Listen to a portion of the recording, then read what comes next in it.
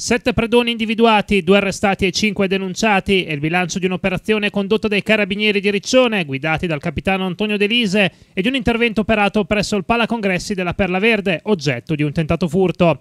Lunedì 30 marzo i carabinieri hanno dato scacco matto a una banda di predoni albanesi responsabili di alcuni furti in villa nel Riminese. Due gli arresti e due le denunce, ritrovato bottino per oltre 40.000 euro, formato da gioielli, orologi, capi di abbigliamento, occhiali da sole, tablet, telefoni cellulari, vino pregiato e biciclette. Abbiamo proceduto ad estendere su delega dell'autorità giudiziaria una perquisizione in una prima abitazione nel cui interno vi erano due cittadini albanesi con questa refurtiva del valore di 40.000 euro. Subito dopo nell'abitazione attigua ve ne erano altri due, di cui uno clandestino, infatti è stato denunciato per clandestinità e poi espulso, ed un altro eh, che aveva anche lui in possesso, erano anche loro in possesso di altra refurtiva, circa 10 cellulari e quindi sono stati eh, denunciati a piede libero per questo tipo di reato. E per adesso la zona individuata è quella di Rimini Sud, eh, località Miramare, e pensiamo che comunque ci possono essere anche dei furti in altre zone, insomma di Rimini e di Riccione.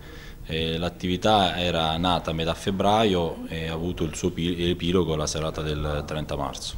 Nella notte tra martedì e mercoledì i carabinieri hanno identificato e fermato tre ventenni albanesi, pregiudicati e residenti a Forlì, scappati a mani vuote dal Palacongressi di Riccione. Per introdursi all'interno del Palace si erano calati dal tetto.